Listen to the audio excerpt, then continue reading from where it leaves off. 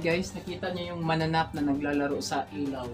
Ayan, so, pag may makita kayong ganyan sa bahay nyo, ang gawin nyo lang guys ay uh, kumuha kayong plastic at saka lagyan nyo ng mantika or use oil or bago man na ano, basta langis guys. Pwede na siya tapos isasabit natin siya sa may ilaw para didikit sila dito eh. Tingnan natin.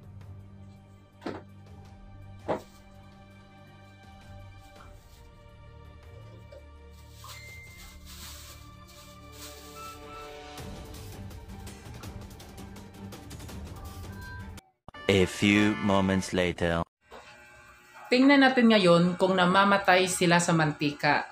Ayan, dumikit sila at nakita rin natin guys na wala na rin naglalaro sa ilaw.